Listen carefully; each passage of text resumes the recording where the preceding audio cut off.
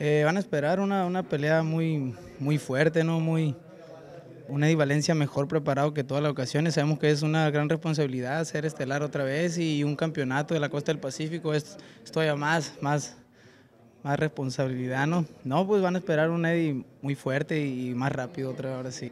Pues me siento muy bien, muy contento que ya, ya se llega la hora de, de subir al ring, a demostrar lo que traemos.